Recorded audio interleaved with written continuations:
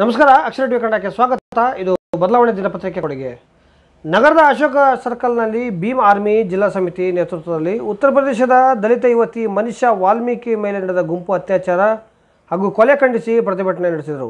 ಈ ವೇಳೆ ಸಲೀಂ ಮಂಡಲಗೇರಿ, ರಾಘು ಬೆಲ್ಲದ, ರಾಘು ಚಕ್ರಿ, ಮಾರ್ಕಂಡಿ ಬೆಲ್ಲದ, ಮಂಜುನಾಥ ದೊಡ್ಡಮನಿ ಅನಿಮೇಶ್ ಮ್ಯಾಗಳಮನಿ ಸೇರಿದಂತೆ ಅನೇಕ ಯುವ ಜನರು ಉಪಸ್ಥಿತರಿದ್ದು ಸರ್ಕಾರದ ನಡೆಯನ್ನ ಖಂಡಿಸಿ ಮಾತನಾಡಿದರು. ತುರ್ತಾಗಿ ಮನುಷ್ಯ ಸಾವಿಗೆ ನ್ಯಾಯ ಒದಗಿಸಿಕೊಡಬೇಕು ಎಂದು ಆಗ್ರಹಿಸಿದರು. ಇದೇ ವಿಷಯವನ್ನು ಖಂಡಿಸಿ ನಗರದ ಎಐಡಿವೈಒ ಮತ್ತು ಎಐಡಿಎಸ್ಒ ಸಂಘಟನೆಗಳಿಂದ ಕೇಂದ್ರೀಯ ಬಸ್ ನಿಲ್ದಾಣದ ಎದುರುಗಡೆ ಪ್ರತಿಭಟನೆ ನಡೆಸಿದರು.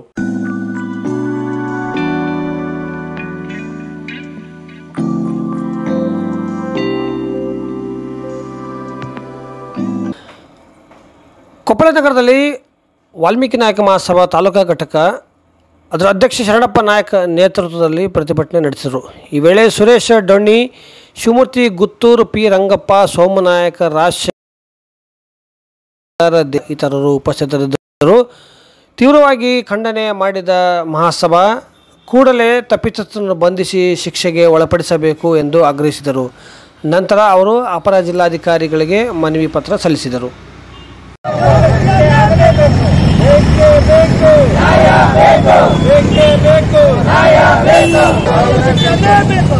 ಒಂದು ಮಹಿಳೆ ಒಂದು ಸೇರಿದಂಥ ಮಳೆ ಮೇಲೆ ಅತಿ ಅತಿ ಹೆಚ್ಚಿನಿಂದ ದೌರ್ಜನ್ಯ ಜಾಸ್ತಿ ಆಗ್ತಿದೆ ಉತ್ತರ ಪ್ರದೇಶದಲ್ಲಿ. ಹಿಂದಕ್ಕೆ ಒಂದು ಘಟನೆ ಆಗಿದೆ. ಮಹಿಳೆ ಮೇಲಿನ ಅತ್ಯಾಚಾರ ಆಗಿ ಕೊಲೆನೂ ಆಗಿದೆ. ಇದು ದಿನ ಎರಡನೇ ಭಾಗನ ಆಗ್ತಕ್ಕಂಥದ್ದು ಇದು. ದಲಿತರ ಮಹಿಳೆ ಮೇಲೆ ಆಗ್ತಕ್ಕಂಥದ್ದು ಬಹಳ ಇದು ದೃಷ್ಟಿಯಿಂದ ಇರ್ತಕ್ಕಂಥದ್ದು. ಇದು ಉಗ್ರವಾಗಿ ಹೋರಾಟ ಮಾಡಬೇಕಾಗ್ತದೆ. ಮುಂದಿನ ದಿನದಲ್ಲಿ ಇದು ನಾವು ಬಹಳ ಖಂಡನೆ ನಾವು ಈಗ ಉತ್ತರ ಪ್ರದೇಶದಿಂದ ಮುಖ್ಯಮಂತ್ರಿಗಳು ಅತಿ ಶೀಘ್ರದಲ್ಲಿ ಆ ನಾಲ್ಕು ಜನರನ್ನು ಗಲ್ ಶಿಕ್ಷೆಯನ್ನು ವಿಧಿಸಬೇಕಂತಂದು ನಾವು ವಾಲ್ಮೀಕಿ ಸಮಾಜದಿಂದ ಪ್ರತಿಭಟನೆಯನ್ನು ಹಮ್ಮಿಕೊಂಡಿದ್ದೇವೆ. ಇದುವರೆಗೂ ಮಹಿಳೆಯರು ಸ್ವಾವಲಂಬಾಗಿ ಬದುಕಲು ಆಗುತ್ತಿಲ್ಲ. ಕಾನೂನು ಎಷ್ಟೇ ಕಠಿಣ ಶಿಕ್ಷೆ ಮಾಡಿದರೂ ಮಹಿಳೆಯರ ಮೇಲೆ ಅತ್ಯಾಚಾರ, ದೌರ್ಜನ್ಯ ನಿಲ್ಲುತ್ತಿಲ್ಲ. ಇನ್ನು ಮೇಲಾದರೂ ಕಠಿಣ ಕಾನೂನನ್ನು ಜಾರಿಗೆ ಮಾಡಿ ಅತ್ಯಾಚಾರಿಗಳಿಗೆ ಶಿಕ್ಷೆ ವಿಧಿಸಬೇಕು. ಮತ್ತು ಉತ್ತರ ಪ್ರದೇಶದಲ್ಲಿ ಎರಡು ದಿನಗಳ ಹಿಂದೆ ನಡೆದಂತ ವಾಲ್ಮೀಕಿ ಸಮುದಾಯದ ಮನುಷ್ಯ ವಾಲ್ಮೀಕಿ ಮಹಿಳೆ ಮೇಲೆ ನಾಲ್ಕು ಜನ ದುಸ್, ದುಷ್ಕರ್ಮಿಗಳು ಅತ್ಯಾಚಾರ ನಡೆಸಿದ್ದಲ್ಲದೆ ನಾಲಿಗೆ ಕತ್ತರಿಸಿ ಕೊಲೆ ಮಾಡಿ ಪೊಲೀಸ್ ಅಧಿಕಾರಿಗಳ ಸಹಾಯದೊಂದಿಗೆ ರಾತ್ರಿ ಆ, ಹೆಣವನ್ನು ಸುಟ್ಟು ಹಾಕಿದ್ದಾರೆ. ಇದನ್ನು ಖಂಡಿಸಿ ಇವತ್ತಿನ ದಿನ ಅತ್ಯಾಚಾರ ಮಾಡಿದ ದುಷ್ಟರನ್ನು ಗಲ್ಲಿಗೆ ಏರಿಸಬೇಕು. ಹಾಗೂ ಸಹಕಾರ ನೀಡಿದ ಪೊಲೀಸ್ ಅಧಿಕಾರಿಗಳನ್ನು ಕರ್ತವ್ಯದಿಂದ ತೆಗೆದುಹಾಕಬೇಕೆಂದು ಉತ್ತರ ಪ್ರದೇಶದ ಮುಖ್ಯಮಂತ್ರಿಗಳಿಗೆ ಸಮಾಜದಿಂದ ಈ ಮನವಿ ಮೂಲಕ ಜಿಲ್ಲಾ, ಜಿಲ್ಲಾಧಿಕಾರಿಗಳ ಮೂಲಕ ಕ್ರಮ ಜರುಗಿಸಬೇಕಂತ ಹೇಳಿ. ನಗರದ ಅಶೋಕ ವೃತ್ತದಲ್ಲಿ ಮುಸ್ಲಿಂ ಯುವ ಸಮಿತಿಯಿಂದ ಹಾಥರಸ್ನಲ್ಲಿ ನಡೆದ ದಲಿತ ಯುವತಿಯ ಅತ್ಯಾಚಾರವನ್ನು ಖಂಡಿಸಿ ಪ್ರತಿಭಟನೆ ಮಾಡಿದರು. ಜೊತೆಗೆ ಬಲರಾಂಪುರದಲ್ಲಿ ನಡೆದ ಅತ್ಯಾಚಾರವನ್ನು ತೀವ್ರವಾಗಿ ಖಂಡಿಸುವುದರ ಜೊತೆಗೆ ಅಪರಾಧಿಗಳಾಗಿರುವ ಮುಸ್ಲಿಂ ಯುವಕರನ್ನು ಮೊದಲು ಗಲ್ಲಿಗೇರಿಸಬೇಕು. ಅದನ್ನು ಮಾಡಲು ಸಾಧ್ಯವಾಗದಿದ್ದರೆ ಸರ್ಕಾರ ಸಮಾಜಕ್ಕೆ ಆ ಕೆಲಸವನ್ನು ಒಪ್ಪಿಸಿದರೆ ಧರ್ಮದ ಆಧಾರದ ಮೇಲೆ ಅವರಿಗೆ ತೀವ್ರವಾದಂಥ ಕಠಿಣ ಶಿಕ್ಷೆಯನ್ನು ನೀಡಲಾಗುವುದು ಸಮಾಜ ಇಂತಹ ಕೃತ್ಯಗಳನ್ನು ಎಂದಿಗೂ ಒಪ್ಪಿಕೊಳ್ಳುವುದಿಲ್ಲ ಎಂದು ಸಮುದಾಯದ ಮುಖಂಡರು ಸರ್ಕಾರದ ನಡೆಯನ್ನು ಖಂಡಿಸಿ ಮಾತನಾಡಿದರು ಈ ವೇಳೆ ಸಮಾಜದ ಮುಖಂಡರಾದ ಅಮ್ಜದ್ ಪಟೇಲ್ ಸಲೀಂ ಮಂಡಲ್ಗೇರಿ ಕಾಟನ್ ಪಾಷಾ ಮಾನ್ವಿ ಪಾಷಾ ಸಲೀಂ ಅಳವಂಡಿ ಹನುಮೇಶ್ ಮ್ಯಾಗಳಮನಿ ಸೇರಿದಂತೆ ಅನೇಕರು ಉಪಸ್ಥಿತರಿದ್ದರು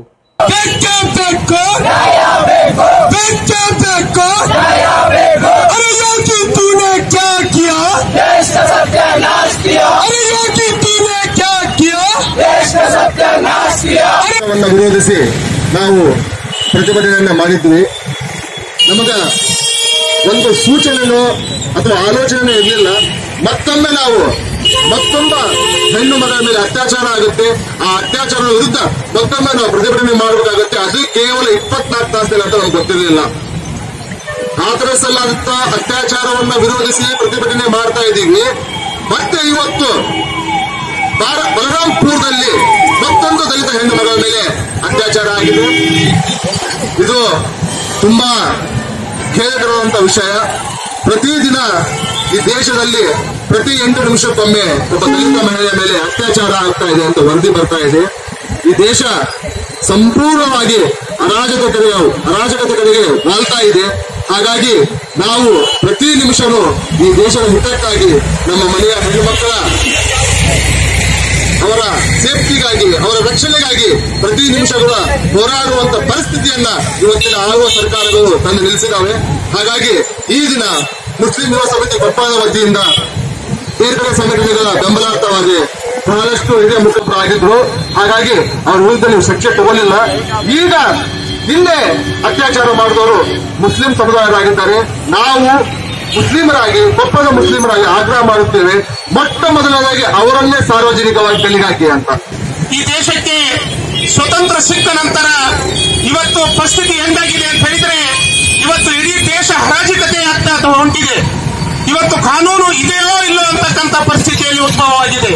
ಇವತ್ತು ಮಹಿಳೆಯರ ಒಂದು ದೌರ್ಜನ್ಯವನ್ನು ಕೂಡ ಮಹಿಳೆಯರ ಮೇಲೆ ಆಗಿರ್ತಕ್ಕಂಥ ಸಹೋದರಿಗಳ ಮೇಲೆ ಆಗಿರ್ತಕ್ಕಂಥ ವಿರುದ್ಧ ಇವತ್ತು ಸಾರ್ವಜನಿಕವಾಗಿ ಇಡೀ ದೇಶದಂತ ಪ್ರತಿಭಟನೆಯನ್ನು ಕೂಡ ಮಾಡಿದರೂ ಕೂಡ ಇನ್ನುವರೆಗೆ ಕೂಡ ಯಾವುದೇ ಒಂದು ಹಿಂದೆ ಆಗಿರ್ತಕ್ಕಂಥ ಅನೇಕ ಇವತ್ತು ಅತ್ಯಾಚಾರಗಳನ್ನು ನೋಡಿದರೆ ಕೂಡ ಇವತ್ತು ಯಾವುದೇ ಕ್ರಮವನ್ನು ಕೊಳ್ಳತಕ್ಕಂಥ ಇವತ್ತು ಕೇಂದ್ರ ಸರ್ಕಾರ ಇರಬಹುದು ಮತ್ತು ಉತ್ತರ ಪ್ರದೇಶದ ಸರ್ಕಾರಗಳಾಗಿರಬಹುದು ರಾಜಕೀಯ ಸಂಗತಿಯಾಗಿದೆ ಇವತ್ತು ಸರ್ಕಾರ ಹಿಂಗೇನೇ ಇಲ್ಲ ಅಂತಕ್ಕಂಥ ಪರಿಸ್ಥಿತಿ ಉದ್ಭವವಾಗಿದೆ.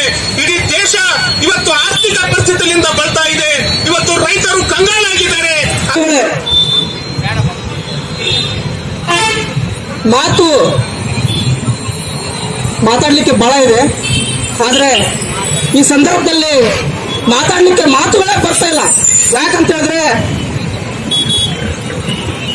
ಮೊನ್ನೆ ಮನುಷ್ಯ ಇಂದು ನಮ್ಮಕ್ಕ, ಮುಂದೆ ನಮ್ಮ ತಂಗಿ, ಇದೇ ರೀತಿ ಅತ್ಯಾಚಾರಗಳು ನಡೀತಾ ಹೋದ್ರೆ ರೇಪುಗಳು ನಡೀತಾ ಹೋದ್ರೆ, ಒಂದೇ ಒಂದು ಮಾತು ಹೇಳಲಿಕ್ಕೆ ಇಷ್ಟಪಡ್ತೀನಿ. ಉತ್ತರ ಪ್ರದೇಶದ ಮುಖ್ಯಮಂತ್ರಿ ಅವರೇ ಕತ್ತೆ ಕಾಯ್ತಿದ್ದೀರಾ ನೀವು? ಕತ್ತೆ ಕಾಯ್ತಿದ್ದೀರಾ? ನಿಮಗೆ ನಿಜವಾಗ್ಲೂ ತಮ್ಮಿದ್ರೆ ನೀವು ನಿಜವಾಗ್ಲೂ ನಿಮ್ಮ ಮನೆಯ ಮಕ್ಕಳ ಮೇಲೆ ಗೌರವ ಇದ್ರೆ, ನಿಮ್ಮ ಹೆಂಡತಿ ಮೇಲೆ ಗೌರವ ಇದ್ರೆ? ಇವರಿಗೆ ಅತಿ ಶೀಘ್ರದಲ್ಲಿ ಕಲ್ಲು ಶಿಕ್ಷೆಗಳು ಕೊಡಿಸ್ಬೇಕು ಇಲ್ಲದಿದ್ರೆ ರಾಜೀನಾಮೆ ಕೊಟ್ಟು ಮನೆಗೆ ಹೋಗ್ಬೇಕು ನೀನು ಯೋಗಿ ಅಲ್ಲ, ನೀನು ಒಬ್ಬ ಅಂತಕ್ಕಂಥ ಮಾತನ್ನು ಈ ಸಂದರ್ಭದಲ್ಲಿ. ಹಾಗೆ ಈ ದೇಶದ ಪ್ರಧಾನಿ ನರೇಂದ್ರ ಮೋದಿ ಅವರೇ, ಏನು ನಿಮ್ಮ ಕೈಯಲ್ಲಿ ಕೆಲಸ ಮಾಡ್ತಕ್ಕಂಥ ಒಬ್ಬ ಮುಖ್ಯಮಂತ್ರಿಯನ್ನ ನೀವು ಇಟ್ಕೊಳಕ್ಕಾಗ್ತಿಲ್ಲ